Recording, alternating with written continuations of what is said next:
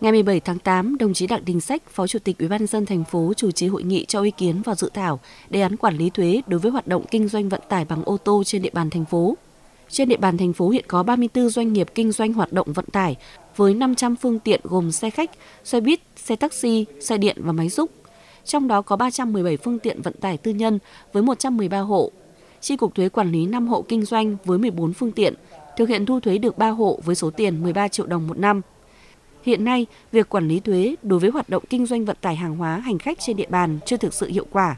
nhất là các phương tiện vận tải của các hộ kinh doanh tại các xã phường. Nhiều chủ phương tiện có hoạt động kinh doanh vận tải chưa chấp hành nghiêm chỉnh các quy định về kê khai nộp thuế, sự phối hợp giữa các ngành các cấp trong quản lý hoạt động kinh doanh vận tải chưa đồng bộ.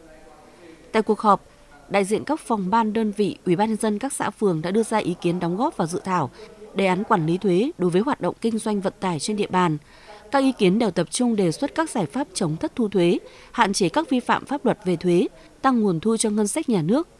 Phát biểu kết luận tại cuộc họp, đồng chí Đặng Đình Sách, Phó Chủ tịch Ủy ban nhân dân thành phố đề nghị các phòng ban ngành đơn vị, các xã phường tiến hành giả soát số lượng các cơ sở kinh doanh, số lượng các phương tiện vận tải gồm xe tải, xe khách, xe taxi trên địa bàn, danh sách các tổ chức cá nhân và số lượng phương tiện kinh doanh được cấp cấp lại giấy phép kinh doanh vận tải, số tiền thuế thu từ hoạt động kinh doanh của doanh nghiệp, hợp tác xã vận tải, ra soát số lượng phương tiện đã tham gia đăng ký, đăng kiểm, kê khai thuế của các cơ sở kinh doanh vận tải tư nhân.